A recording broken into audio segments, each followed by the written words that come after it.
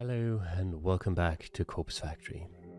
Last time we left off here, where I think it's been a while, but I think Noriko and Koji just went to check out the factory that they were going to use for their operation. And now they went back home. That's where we left off last time. No problem. Should I come upstairs? No, I don't think that's necessary. Okay. By the way, when are we starting work? Well, as soon as I. I mean, as soon as Corpse Girl receives another request for a death, we can start on it. Oh, no grand heist from the morgue first? Think about it. It's important that the cadavers I use match the details of my victims. I won't know what kind of cadaver to use until I receive a photo of the victim. Guess that makes sense. What's the big plan anyway? How do we lift corpses from the morgue? I had a feeling you would ask about this sooner or later. I did tell him that I had a perfect idea after all. Hmm, I imagine the biggest issue is writing off the bodies, so to speak. If a cadaver goes missing or is unaccounted for, there will be an investigation. Am I right? Guess so. We need to be able to take the bodies away from the morgue without anyone ever knowing they're gone. So, the solution is simple. We only take the cadavers that are due to be cremated. Okay, wise guy. A delivery company picks up the cremains nearly every day. Huh? Cremains? That's what the ashes are called.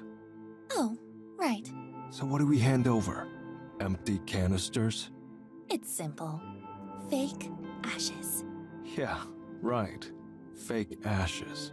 Like I just have those lying around. Kojiro stops mid sentence and stares straight at me. Huh. Might be onto something.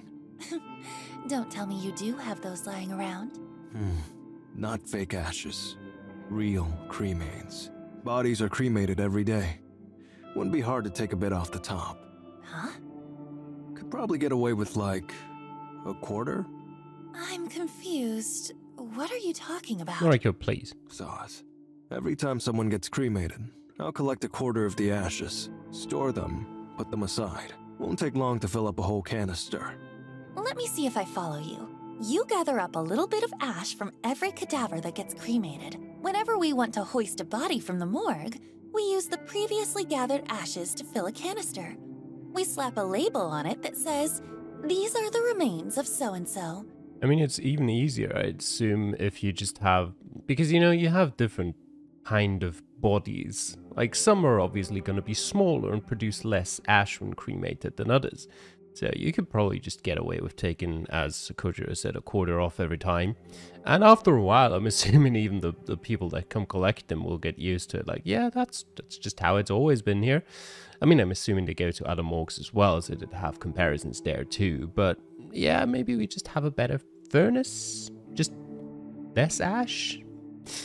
Then we take so and so out of the morgue. We record that their body has been cremated, when in reality, it's been snatched from the morgue. I imagine the canister of ashes just gets picked up with all the others going out on the same day. Pretty much. We also put a token in the canister. A token? Like a dog tag. Has the cadaver's serial number engraved on it. Normally attached to the body before cremation. They don't burn. Lets the cremains be identified later. Ah, I see.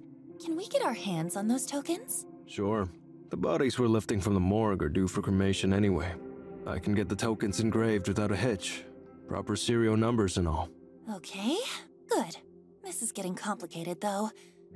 There's quite a bit we have to remember to do. You're not doing any of that, Noriko. It's all on him. Don't worry.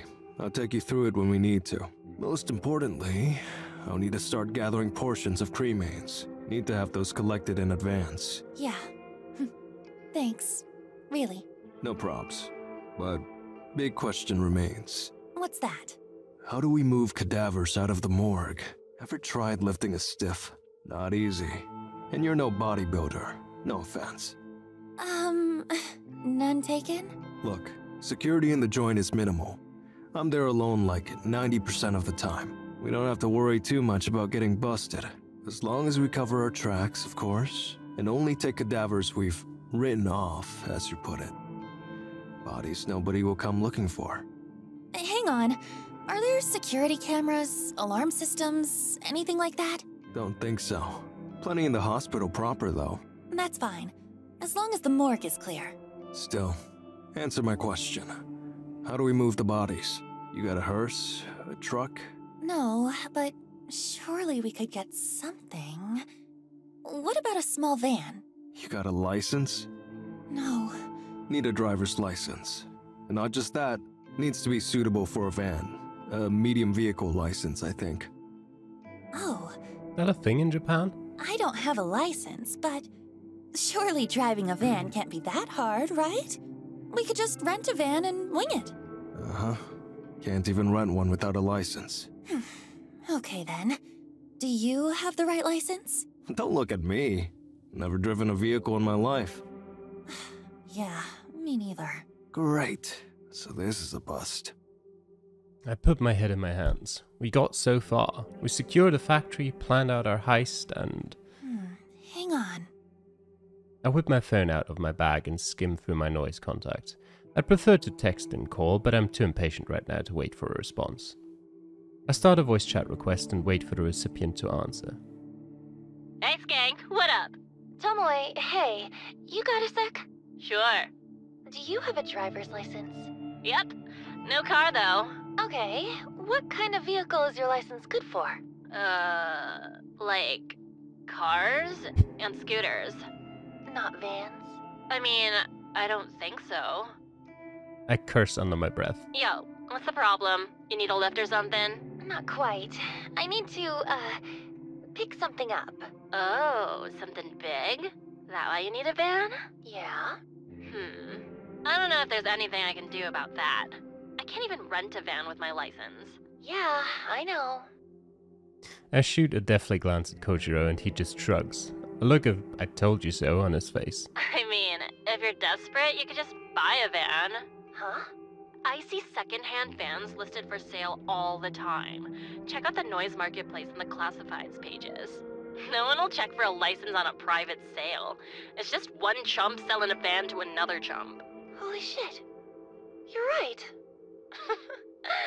You're a genius. Well, I don't know about that. Thank you. Oh, by the way, you wouldn't object to a driving gig, would you? Eh, I do owe you one, I suppose. You want me to drive a van, though? If I get busted on my license, I'll go to prison. Uh, again, is that a thing? You won't go to prison. It'll be a fine at most, I think. That seems more reasonable. I mean, if they find the corpses in the back of the van, that's that's the point where you'll go to prison. Yeah. I look at Kojiro and he gives me another shrug. Uh, look, if you get a fine, I'll pay for it. That cool? Yeah, what the hell? What are the chances of getting busted anyway, right? Can you text me the deets or whatever? The address and stuff? Shinny just got to my place, so I gotta get the door. Okay, will do. Thanks, Tomoe. Sure. Later, slut. I end the call and feel a wave of excitement flooding through me. You get all that? More or less. You girls sure are loud. Sorry. So, I'll need you to do me a favor. By van, right? Yeah, you're a big, strong man. You won't get ripped off. I'm just a poor little girl. Cut it out. I'll do it. But you got the money? As a matter of fact, I fondly remember swindling a cool 500,000 yen from Kotomi Ida just this week. 500,000 yen, that would be $5,000. Yeah, that should get you a, a, an old van, but it should get you something that can drive. we've got a 500,000 budget. Will that do? Hmm. Maybe. Can't get you anything modern, but I'm sure it's enough. Great. You think you can get something tomorrow? I'll try. The noise marketplace, right? That's right. Well, no promises. I'll do my best. Thank you. Really. Yeah, yeah. Okay. I'm heading off. Unless you actually do want me to come upstairs. No. Roger that. See you tomorrow. Probably. Koji returns with little more than a wave, exits the building, and crosses the street. I quickly ascend the stairs with a slight spring in my step.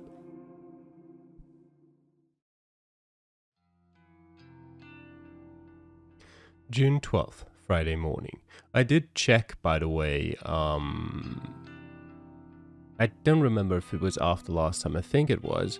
Uh, what the date actually was at the very beginning. The whole story with Emmy, I think her name was, uh, in the you know sort of clothes shop, and then she killed herself. Um, I think that started on June 13th, so we almost reached that date. So I'm assuming that will be the first, well, or the next actual request we will get. I'm more eager than usual to get the day started. When I get out of bed, I take my medication, just like usual. I've been good at keeping up with it lately, sticking to my newfound convictions. I wash down the tablets with a glass of water. After getting dressed, I put on my makeup. The same morning routine, the same movements, the same actions. But I feel good today. I'm not dragging my feet. I'm happy that things are moving forward, both for me and for Corpse Girl. As I'm packing my handbag, I receive a call from Aoi. Aoi. Haven't spoken to her for a little while. In fact, the last time we spoke, I think it was way back when she didn't come into the office for her first day of work. That was nearly two weeks ago. Shit, I really dropped the ball. I'm supposed to be trying to look after her, but I've been so caught up with my own crap. In addition, I've been actively trying to put her out of my mind in order to get over my feelings for her.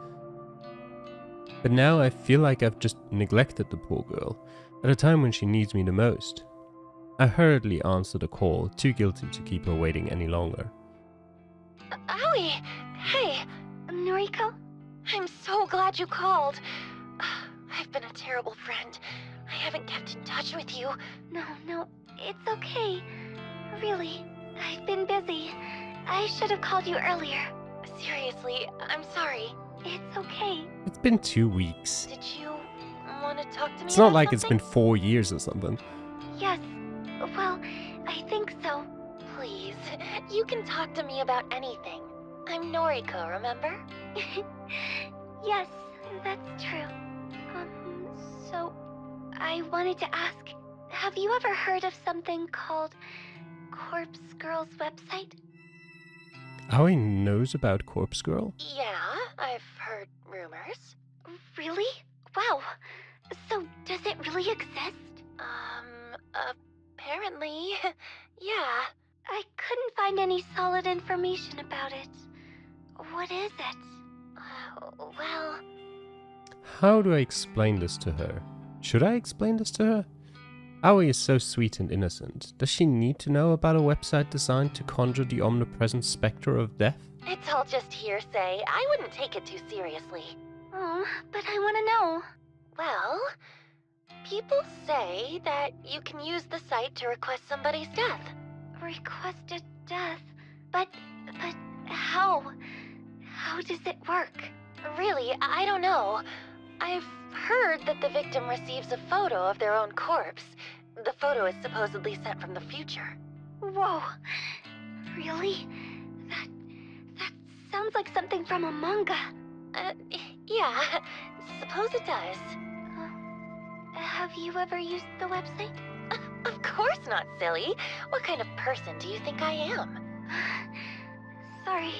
Why are you so excited about this anyway? Oh, um, no reason. I kinda just like weird stuff like this. You do? Oh, I never knew that. you don't know everything about me, Miss Noriko. Even through the phone, I can sense that Aoi is in a happier mood than usual.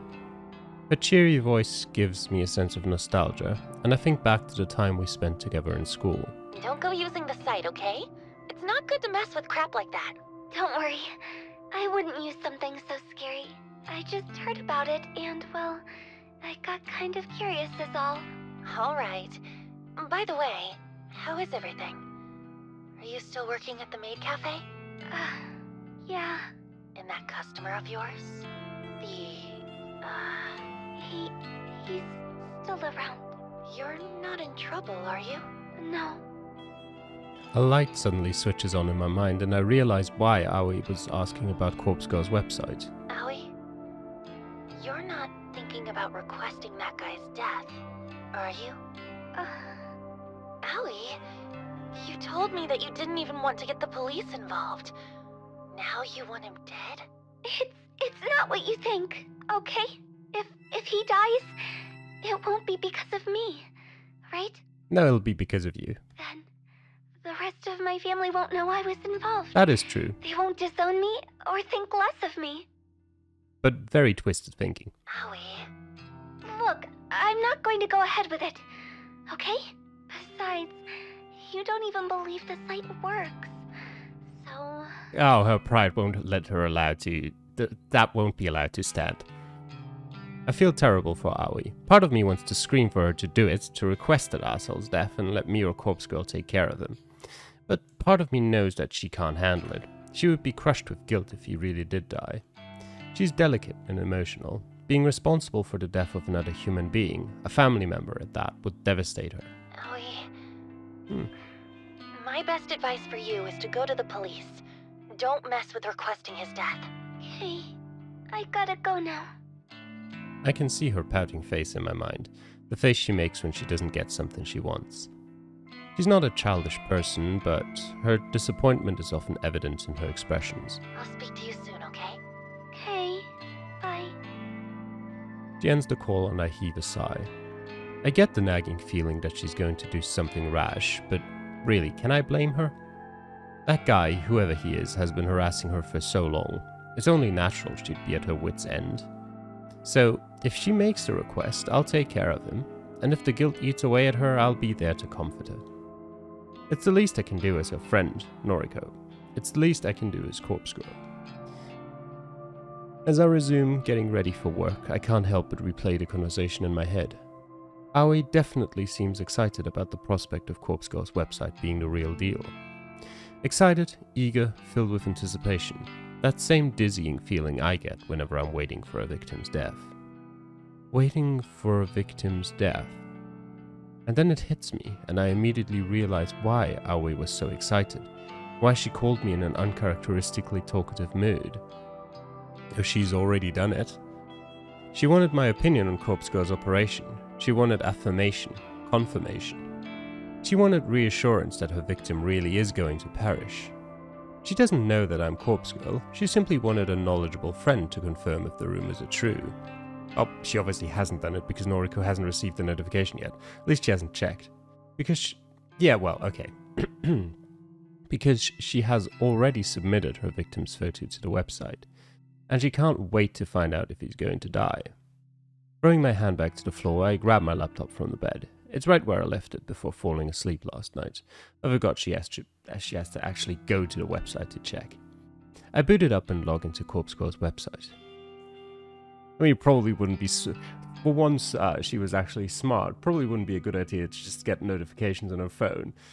Uh, the little blinking notification that I dream about seeing greets me. Three new requests. Oh, that's a lot. Three new requests? How? I can't believe what I'm seeing. I quickly queue up the photos to download. After a few seconds, they all open up and I flick through them with a dumbfounded expression plastered across my face. They're all female, so that rules out my theory that Aoi has requested the death of the guy harassing her. I suppose she really was just excited about the prospect of the website, but hadn't actually gone through with anything yet. But what really surprises me about the new requests is that I recognize one of the young women, yet another person I'm familiar with. Out of all the people in the world, what are the chances of knowing multiple people requested through the website? The girl is Amy Katsuno, if I remember correctly. She went to senior high school with Aoi, Shinya, and myself. I never liked her much. In fact, she was somewhat of a bully toward me. Ironic. Nothing more than name calling, but in my mind, that's as bad as anything else. It's not hard to imagine someone wanting her dead. The other two victims are strangers to me. A ditzy looking airhead with pink hair and a worn out, strained woman who could be anywhere from 20 to 40. Ah, she looks about 20. Yeah, I'll leave it there. She doesn't look 40 at all. To get three requests all at once is remarkable. How am I going to work through all of these? It's a shame that my operation with Kojo isn't fully set up yet. It would be fantastic to go all out in these requests, secure some corpses, and take some truly convincing photos. Ah, Well, there's no use stressing over that. the best thing I can do is simply get to work on forging some photos. In fact, maybe I'll skip work today so I can dedicate the time to crafting these photos. It's Friday after all, pretty much the weekend, no one will care if I don't show up at the office. I nod to myself as if convincing my own mind that I'm making the right choice. I load up the database of the deceased. I step outside my apartment building, squinting in order to defend myself from the overwhelming rays of sunlight assaulting my eyes. As narrow as my vision is, I'm able to determine that Kojiro is nowhere to be seen. Where is he? Once again, he's making me wait. As I mumble under my breath, I hear the screeching of tires and watch in disbelief as a van pulls up outside my apartment building. Hmm. It's a beat up old thing that may have once been white but is now covered in grime. The windows are either tinted or encrusted with dirt. To my surprise, the window on the passenger's side lowers and I see some familiar faces. Next to Kojiro in the driver's seat is none other than Tomoe. She's waving and grinning like a lunatic. Hey, skank! So, how's this? My face must reveal my fury because Kojiro flinches before I can even respond. Where did you even get this piece of shit? Some guy. Some guy? What guy? That's some guy from the noise marketplace. Only wanted 250 for it. So, here's the other half of your money back. You're welcome. He holds up the paper bag I gave him earlier. It seems to still have a bit of weight to it. When Kojiro showed up at my apartment earlier this morning, he told me he'd found a great deal on a van. I had a good feeling about it and handed him the money to go and secure the vehicle. However, he mentioned that he needed a driver to hold it back. He asked me to call Tomoe for assistance. Thankfully, Tomoe agreed to help. Any opportunity to leave the office was good enough for her. I never expected her and Kojiro to come back driving a death trap on wheels. Well, you gave them essentially $5,000. What you expect? Cars are expensive. Unbelievable. We're not going to die in this ugh, thing, are we? It depends on Tomoe's driving. Who knows? It has AC! See? It's a great deal. Did you ask the guy if anyone has ever been murdered in it? What do you care? He's gonna see a lot of corpses before we're done with it. He's got a point, but I still don't feel good about it. Ugh, we're picking up corpses in this thing. It's important. And you owe me one, remember? That shit's gross. I don't mind driving, but come on. No one asked you to ask you to carry them, Ugh, whatever. Long as I don't have to touch nothing. though you're probably the strongest out of the three. I'm doing the heavy lifting. Don't worry. Tomoe leans over Kojiro and squeezes past him awkwardly to speak to me in a hushed voice. Who is this weirdo anyway? When you said you wanted me to go pick up a van, I thought you'd put me in decent company. Sorry. He's my, uh, business partner. This is all for corpse girl shit, right? Well, whatever. I'm cool with it. Just hope this dude doesn't try to cut me or nothing. She pulls back and gives Kojiro some air. Anyway, get in. Huh? Why? Going to the morgue. Hang on, hang on. I haven't planned anything yet. You want to do this now? If not now, when?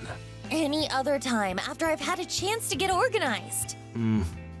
You have requests, right? Yeah, three, actually. Right. So let's go get some bodies that match. But you haven't even had time to put aside any ashes.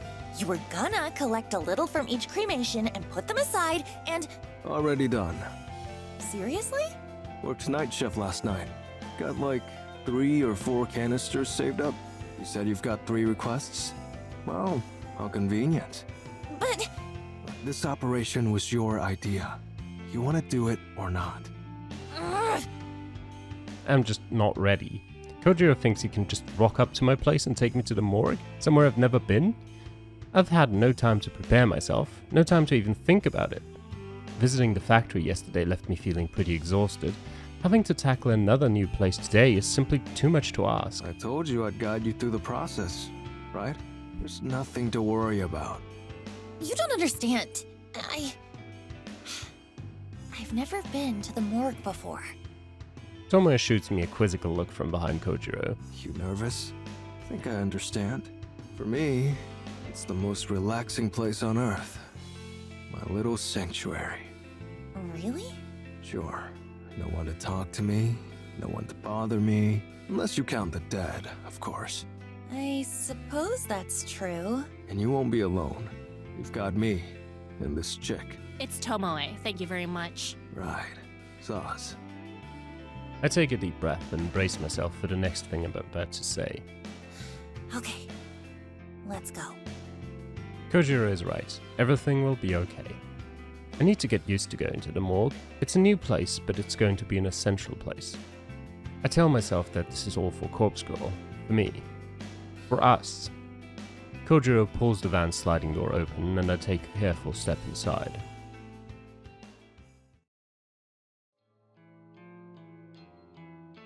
The morgue is a lot colder than I imagined it would be. I berate myself for not bringing a sweater, but there's nothing I can do about it now. The place has an icy, otherworldly feel to it.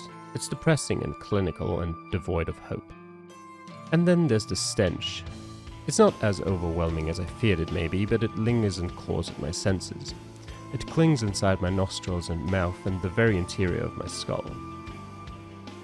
It's very easy to understand why Kojiro's clothes always smell like this place. Once the door gets a grip on you, it doesn't let go. Honey, I'm home. A poor joke in poor taste, even for Kojiro. I feel like I'm going to vomit. Even Tomoe is looking a bit paler than normal.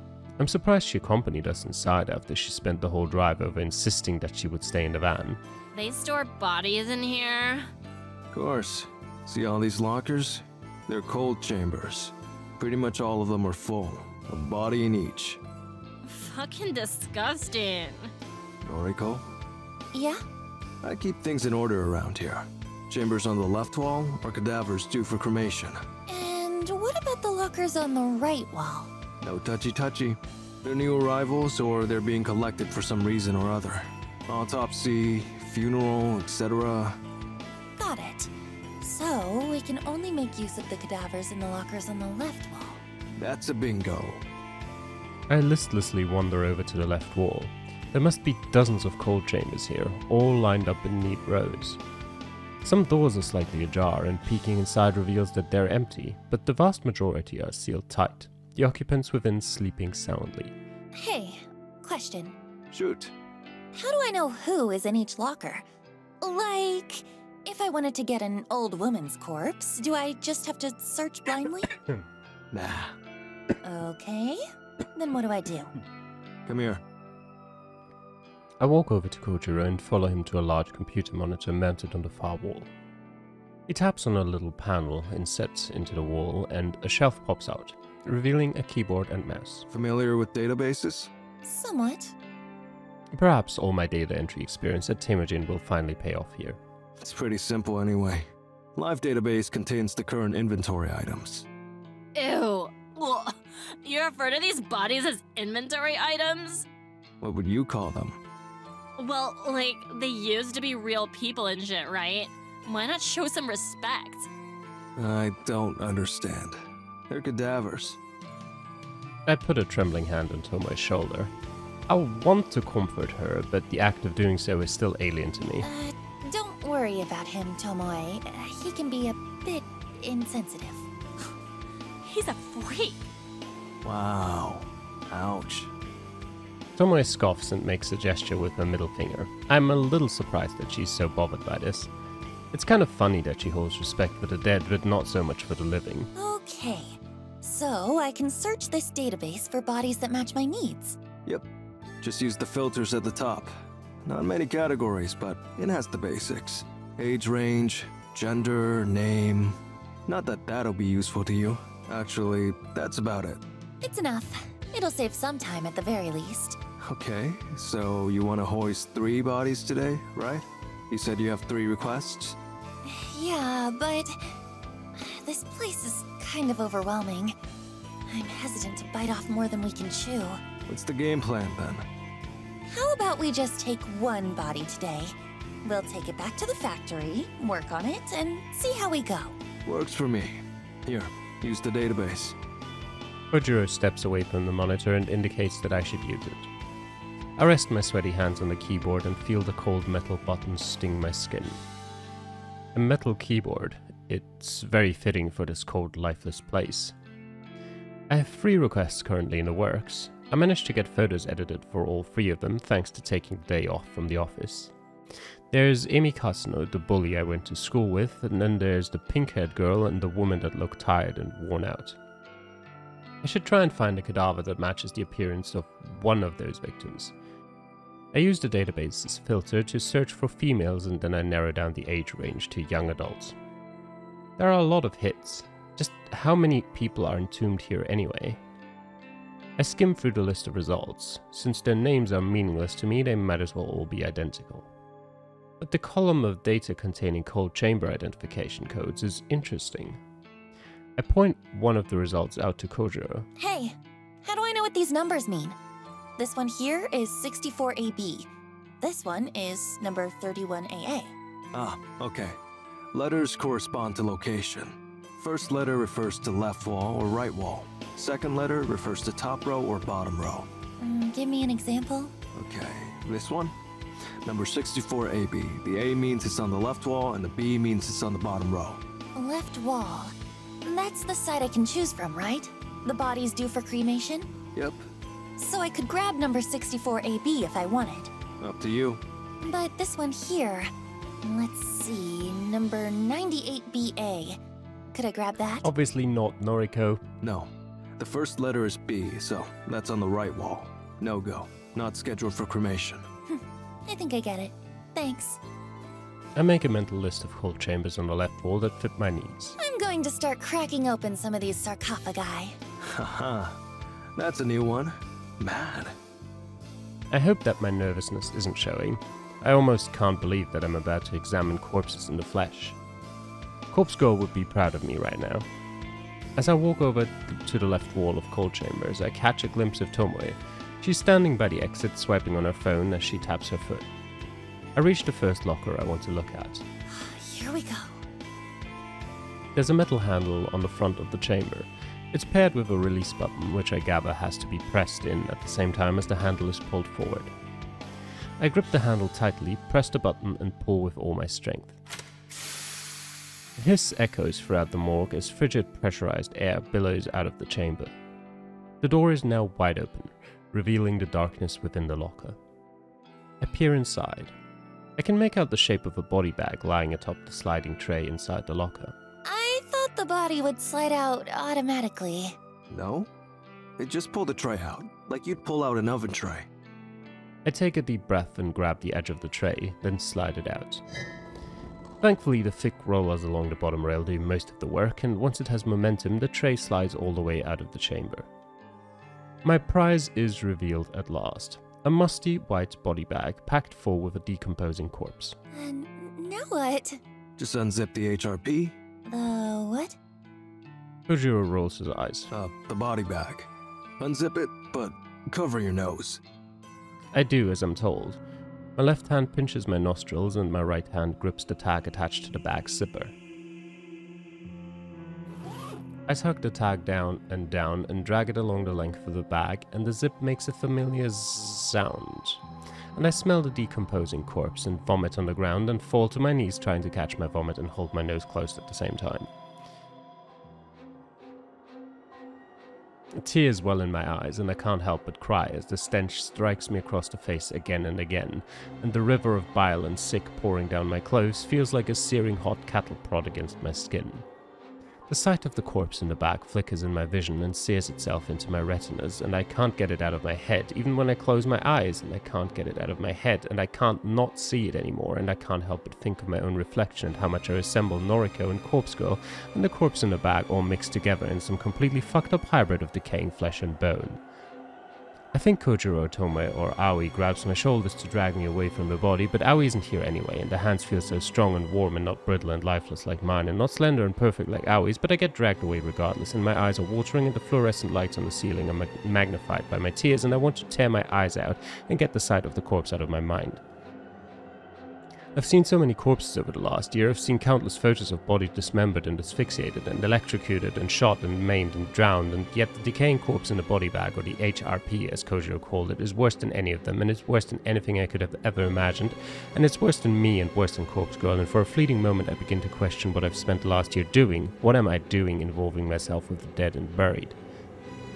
The frantic screams of a girl resound in my ears and my eyes and my nostrils, and I think she's calling my name, but it doesn't sound like my name. It sounds like Noriko or something along those lines. Maybe Yuriko. Maybe she's calling out for my sister, but my sister isn't here and Noriko isn't here, and I'm the only one here lying on my side on the cold tile floor and covered in warm vomit and hot tears, and I feel the body lying next to me and smiling and offering me a cup of coffee from that lovely French cafe I went to one time. I picture that lifeless corpse in my mind, smiling and calling me names like bitch queen or goth bitch or bitch bitch, or basically just any senseless name that you can pair with the word bitch. The word I hate so much that Yuriko used to always call me, that mother used to always call me, that word that carries so much hate and contempt and yet rolls off the tongue so easily. The lifeless corpse keeps calling me names, keeps taunting me, keeps growing out her long blonde hair, and she taunts me with a fake smile and fake eyelashes. She corners me in the classroom and pulls my hair and rips out a fistful of it and laughs and calls me bitchy, bitch, bitch, bitch, and screams and cackles, and I realize that she's always bullied me like this, and I hate her for it because I never did anything to her. I never did anything to Amy Katsuno, but she always bullied me, but she never bullied Aoi because no one was allowed to bully Aoi because the teachers all said so. They all said she's been through too much already, but it's okay to bully Noriko or me or Noriko, that's fine, they all said. So Amy liked to bully me and call me the bitch and bitch, and she liked to pull my hair out, but that's fine because hair grows back eventually, and it meant that she didn't bully Aoi, so in a way I was protecting Aoi, and that's all that ever really mattered. And the corpse in my mind isn't Amy, but it might as well be. It might as well be her, and maybe I can make it her. Maybe the corpse can become Amy Katsuno, and if I send her the photograph of the corpse, then she might kill herself. She might kill herself. Fuck.